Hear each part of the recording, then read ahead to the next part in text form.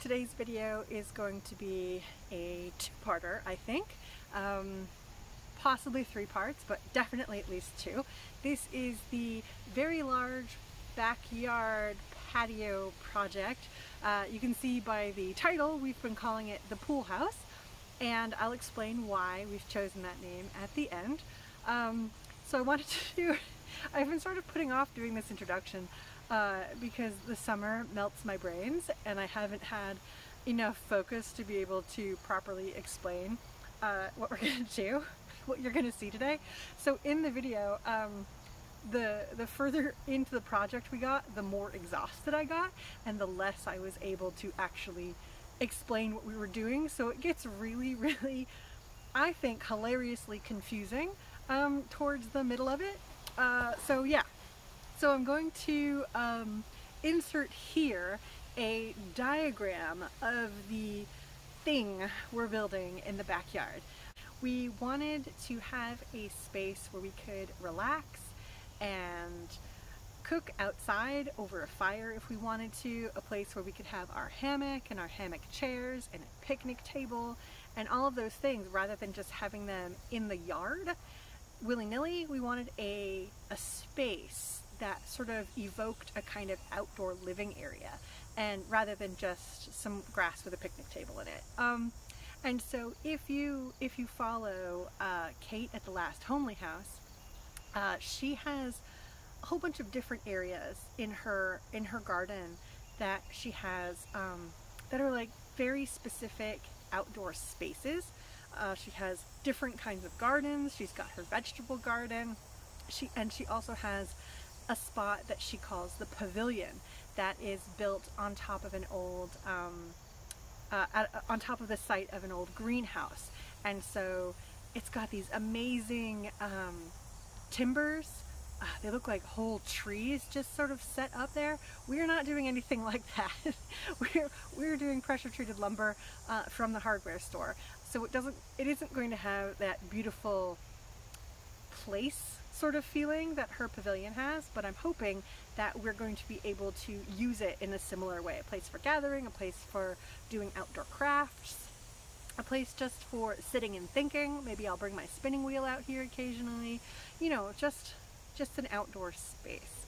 So that was a bit rambly, but I really wanted to give a little bit of background about why we're doing it um, before we get in. So here I'm going to insert a, uh, a drawing uh, and an ex ex explanation of what we're trying to build.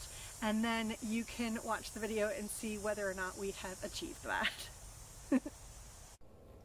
Our vision for this project is to have uh, this square here is our 24 foot by 24 foot frame um, and then on the left and right sides uh, we want to have three posts set evenly um, and then uh, on top of the posts we'll have two oops my pen uh, two boards that are connected on this middle one here. Um, and then, so those will be on top of the posts um, and on each side. Okay, and those would be um, four by fours, uh, just like the posts are. Uh, so from these, hanging down, we hope to have hammock chairs, hanging plants, assorted um, things like that. So this is our vision. 24 foot frame, six posts, and then the two sides connected by um, four by fours on top to make sort of like you know a like a wall frame but really spaced apart uh, yeah so that that is what we are attempting to do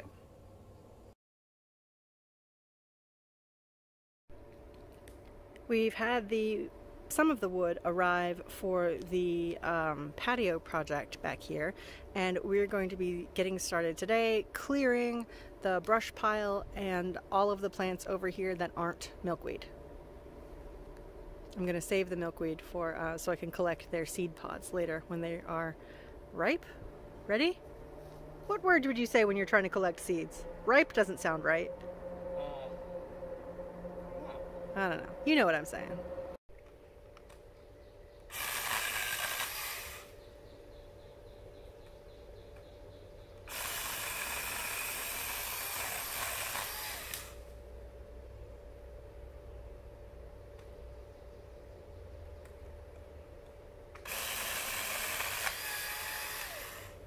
Jesse's clearing the lower branches off of that pine tree so that we can have a clearer path between the two levels of the back garden.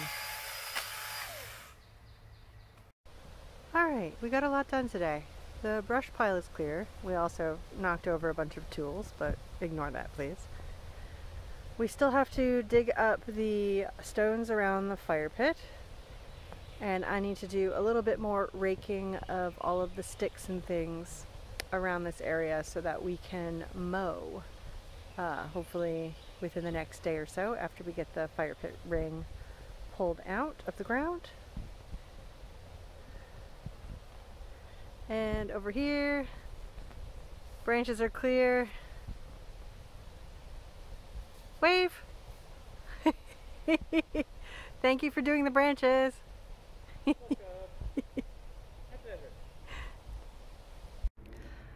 Okay, well, a couple of days of work, um, well, a couple of half days of work anyway. Uh, we've got the the rocks from the fire pit are pulled out and piled over there.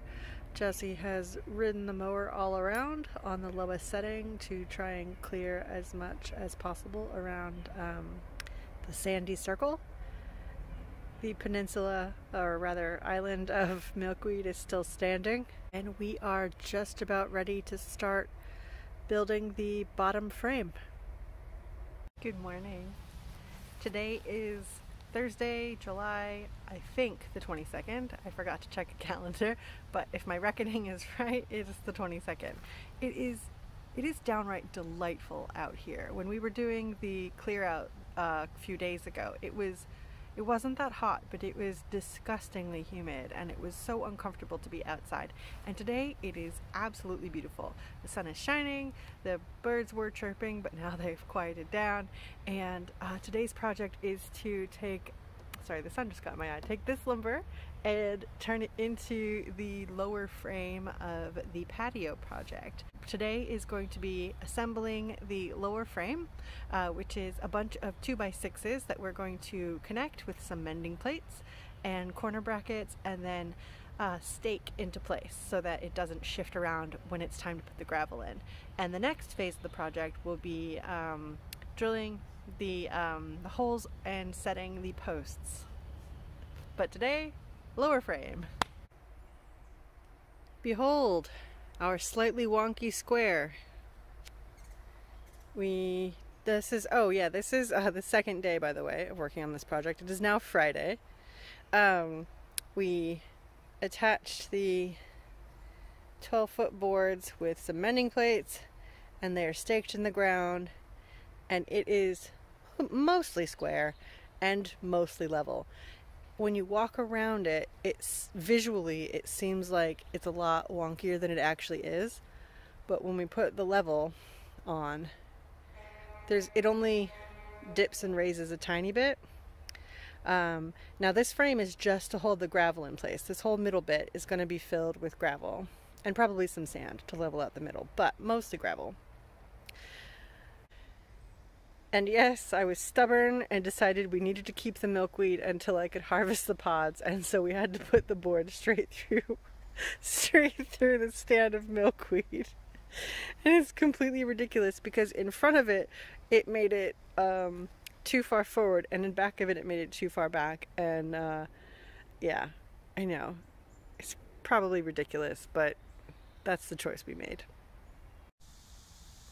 Today's task Ooh, the cicadas just started. Today's task is to, um, where that tent stake is right there, that's marking the center of where um, one of the posts is going to go. So we need to dig out six holes that are 12 inches in diameter and two and a half feet deep because we're using um, 10 foot tall posts and they need to be buried in the ground two and a half feet. So that's today's task, all of the digging. Okay, now you now you can look at me instead of at the ground. So today's task is digging the six holes for the posts and uh, we're going to get some thunderstorms this evening, this afternoon, so we have to get all of them dug before 3 o'clock uh, because um, well, I don't want to be digging in the rain. Um, but that means we're, we're not setting any cement today. We're going to do that tomorrow because there's no rain in the forecast for tomorrow. So we're going to set the posts with the cement tomorrow afternoon. Phew! I'm not going to lie, I'm feeling a bit rough. Yesterday was a lot. Today is Saturday and we managed to dig four out of the six necessary holes for the posts and today we are going to attempt to use quick setting concrete for the first time and to set some posts and the hope that they're all going to be in alignment so that we can put the top rails on. Mm -hmm. Fingers crossed. Okay, I should say that we are going to do the four corners and put posts in and then we are going to use the placement of those posts to tell us where to dig the um, middle poles because we didn't want to dig the middle pole and then the, the middle hole and then it's easier to put two poles in a straight line and then do the middle one than it is to you know what I'm saying.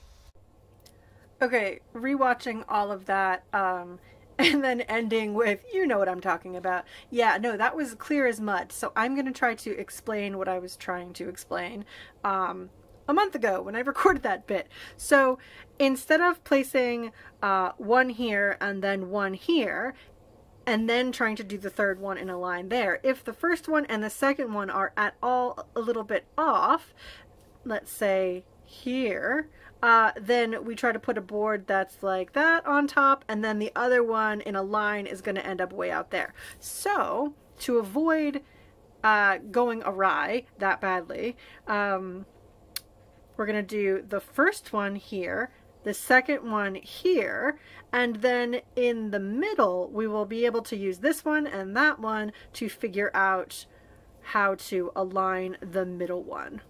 And I hope that made more sense. Anyway, so we're gonna do the, we're gonna set the four corner posts and then we are going to, if we have, if we're feeling up to it today, we are gonna dig the last two holes and then set those maybe today, but possibly, probably another day because digging, digging holes is a lot of work. Um, one of us, me, was using the, a really heavy metal bar to stab into the ground to move rocks and things out of the way. And then Jesse was using the manual post hole, or uh, we were calling them ground tongs. so I was stabbing and he was grabbing, and that's how we dug the holes. And uh, it was a lot of work, and I don't think we're going to have it in us to do the last two today. Slight change of plans. We're going back to my um, version one vision for this project, which is four freestanding posts with no spans across the way.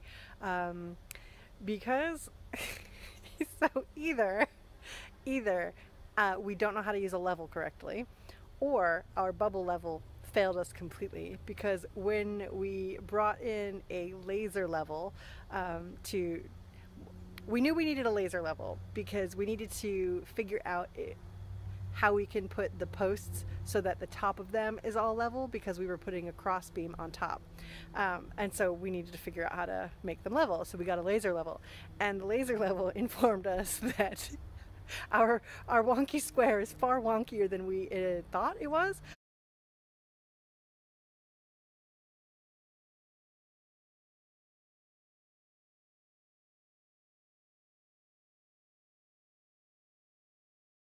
Um, so yeah, we're just going to go back to my original plan of having four freestanding posts to sort of give the the feeling of a, of a room space rather than actually having anything with a span on it. We wanted the span so that we could hang our um, hanging hammock chairs from from a top beam, but we're just going to get freestanding hammock chair stands instead. The good news is that we don't have to do any more digging of holes, which is very exciting for me. Um, I was slightly disappointed that we weren't going to be able to realize uh, our version 2 vision um, to have the uh, three poles on each side because we needed the center pole to, to hold the span. And so I was a little disappointed that we weren't going to be able to do that. But having going back to my original vision of having four freestanding poles makes this project much more closely um, achievable for our level of skills. Good morning. Uh, it is Sunday, the 25th of July, and uh, again, feeling a bit rough. Probably looking a bit glistening. We just moved a bunch of um, the extra lumber that we ended up not using up to the big shared garage up front. Um, so, and I'm covered in mosquitoes. Please don't, please don't bite me. Thank you. Okay. Have a nice day. But not too nice. Don't take my blood. Right, distracted. Okay, so um, we have uh, we just tidied up. I'm about to sneeze. Hang on. So yesterday we finished uh, putting up the posts and this morning we have tidied up all of the uh, extra lumber and we have properly put away all of our tools and we are ready to for the next we're ready for the next phase which is uh, ordering a very large load of gravel to fill the bottom frame. And hopefully we can level that out enough to where uh, we can get a picnic table and things on here and not have it be slanted. So hopefully we can use a level correctly in that instance. But let me show you uh, what it looks like. Okay I tried walking far enough back so you could see it. We still need to put that table away over there. Um, so it is approximately a 24 foot square. And the posts are, I think, ah, mosquito! Sorry. And the posts are probably eight feet above ground, in theory we dug down, well, we dug down uh, two feet and a bit, so it's probably seven feet and a bit above ground, actually. Our plan is to put uh, hooks around each side of the post so that we can have um, hanging baskets of flowers and things and then string um, bunting and fairy lights in between in between the posts on party days, at least in between the posts that are on the side, because this back area, right in the middle, we are going to be building a three-sided, um, it's not an oven, it's not an outdoor oven, it's just a three-sided cooking area. Um, we went camping five years ago, and uh, I will insert a picture here of what that um, contraption looked like.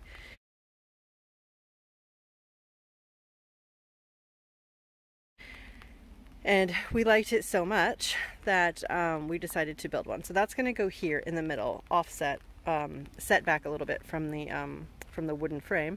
Um, so that's where we will have a little outdoor cooking area um, if we wanted to cook outside or just sit by a fire. There's the milkweed that's waiting to be harvested when the pods are ready. Yeah, so let me show you our uh, our good work on the posts.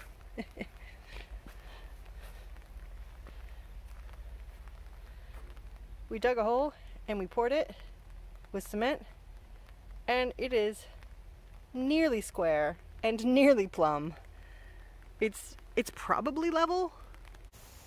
Okay, I sort of trailed off there at the end uh, because of exhaustion, so it is now um, a month later and I'm able to reflect on this. What I was trying to say at the end with my little walk around was that I'm really, really happy with how we were able to set the posts and even if our uh, square is wonky and we had to change plans completely because we were not confident in our ability to make six posts or three posts level with one another um, in a row, you know, despite our having to change plans, I'm really, really happy with the space and I am looking forward to the next phase of the project. Thank you so much for joining me today. I hope you'll join me for part two where we start uh, filling in the, the gravel and building the um, outdoor fireplace and uh, and hopefully we'll have a picnic table by then too. I hope to be able to um, paint a picnic table and have that included in part two as well. But that may or may not be part of part two. Decor might be in a part three video. We shall see. So the reason we're calling it the pool house is because before we moved in, there used to be a pool on the site, an above an above ground swimming pool. There was a circle of sand on the ground and when we moved in the pool was long gone but there was still the circle of sand on the ground and so we when we first got here we set up a ring of stones and had a fire pit in the middle of it as you will have seen uh, in the clear out portion of, of this video today.